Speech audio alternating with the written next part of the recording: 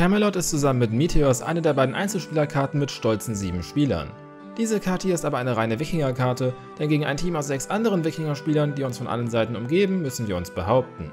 Das klingt aber deutlich schwerer, als es eigentlich ist. Es gibt drei Zugänge zu unserem Teil der Karte, zwei im Westen und einer im Osten.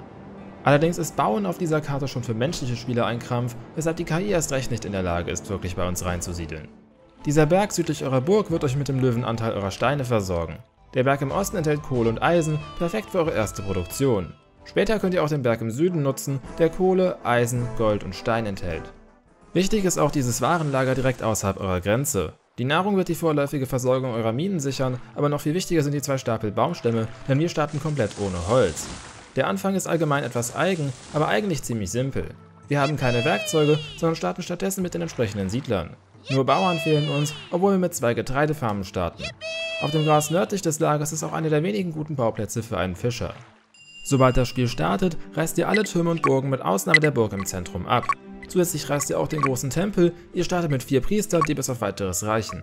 Die beiden Pioniere bei den Getreidefarmen stellen eine Verbindung zum Rest der Siedlung her, die anderen vier erobern das Warenlager. 5 bis 10 eurer Planierer könnt ihr in Pioniere umwandeln, denn generell sollten eure Pioniere stetig euer Gebiet erweitern. Türme können oft nicht günstig platziert werden. Von euren 8 Geologen könnt ihr 5 wieder zu Siedlern machen. Eure Startsoldaten sammelt ihr bei der Burg, denn Lila kann euch jederzeit angreifen und wird das auch schon innerhalb der ersten 20 Minuten tun, stellt aber erstmal keine große Bedrohung dar, solange ihr Axtis und Priester von der Burg fernhaltet. Durch die abgerissenen Gebäude erhalten wir 23 Holz. Das reicht für einen ersten Holzfäller, zwei Sägewerke, ein mittleres Wohnhaus und ein kleines Wohnhaus. Letzteres könnt ihr bald wieder abreißen, aber da wir mit so wenigen freien Siedlern starten, starten wir auch mit wenigen Betten, also wollen wir dieses Limit zumindest voll ausnutzen. Wenn ihr meinen Schritten bisher gefolgt seid, fehlen euch genau 9 Siedler, um alle Betten auszulasten. Mit dem nächsten Holz baut ihr euer drittes Sägewerk, so viele Sägewerke habt ihr nämlich am Anfang und verteilt 7 weitere Holzfäller in eurem Gebiet. Wald gibt es hier jede Menge und langfristig muss der weg. Plant aber trotzdem schon mal eure Woodline im nordwestlichen Teil der Insel. Sobald eure Holzproduktion vorläufig gesichert ist, gebt ihr ein bis zwei weitere mittlere Häuser in Auftrag und geht zusätzlich den Bau von einer Steinmine, zwei Eisenminen und vier Kohleminen an. Ihr habt zunächst nur 6 Bergmänner und keine Spitzhacken, aber es ist okay, wenn eine der Minen kurzzeitig nicht besetzt ist. Die genannten Minen sollten zur Versorgung von 4 Eisenschmelzen und 4 Waffenschmieden reichen, die ihr zusammen mit eurer Werkzeugschmiede und Kaserne südlich des dörflichen Bergs bauen könnt.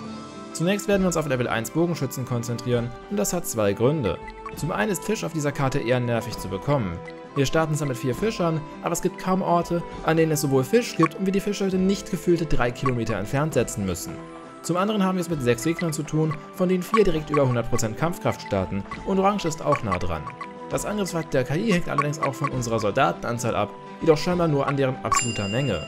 Da es wesentlich einfacher und schneller ist, L1er zu spammen, reichen wir so eher eine Zahl, bei der sich die KI zurückhält. Mit L3ern zu starten fordert einen Zermürbungskrieg heraus, den ihr mit hoher Wahrscheinlichkeit verlieren werdet, da sich die 6 KIs einfach mit ihren Angriffen abwechseln können. Bogenschützen sind in der Defensive insbesondere gegen Wikinger kaum zu schlagen, da sie Axtkämpfer hart countern und im hier gegebenen Rahmen auch gegen Schwertkämpfer effektiv sind. Zur 62. Minute, der Peacetime für den blauen Spieler, hatte ich insgesamt 170 Soldaten und das lässt sich sicher noch optimieren. Seit dieser Zeit aber wachsam, Lila greift meiner Erfahrung nach in der ersten Stunde zweimal an. Am besten deaktiviert ihr auf der Minikarte Gebäude und zivile Siedler. In dieser Zeit solltet ihr außerdem die Brotindustrie im Süden fertig gebaut und eventuell schon erstes Gold produziert haben, das ihr in L2-Bogenschützen investieren könnt. Für Fleisch können erstmal noch einige verteilte Jäger sorgen, Bulgen produziert ihr ja genug. Entwickelt euer Gebiet zunächst stetig weiter, ihr werdet viel Platz für neue Häuser benötigen. Sorgt bei der Gelegenheit auch dafür, dass ihr eine Grenze zu Grün und Blau habt. Sobald ihr euch sicher fühlt, könnt ihr beginnen, in Zielobjekte und L3-Schwertkämpfer zu investieren. Pausiert dazu die L2er-Produktion. Drei Sets Ziris sollten zunächst genügen. Grün war in meinem Run der schwächste Gegner, daher bietet er sich für den ersten Angriff an.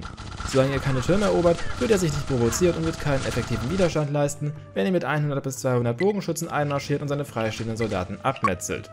Eure L3-Schwertis wählen die Nachhut und erobern schrittweise das restliche Land, das ihr dann für weitere Häuser und Produktion nutzen könnt. Die anderen Spieler werden auch weiter produzieren, aber letztendlich wird sie das nicht retten. Nach Grün eignen sich Gelb und Blau als nächste Ziele, danach bin ich auf die andere Seite und habe Türkis zerlegt, gefolgt von Orange und Lila.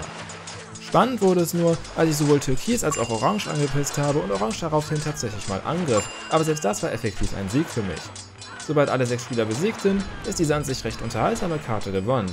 Mir persönlich fehlt noch einer Karte mit diesem Namen eine Art Excalibur-Event.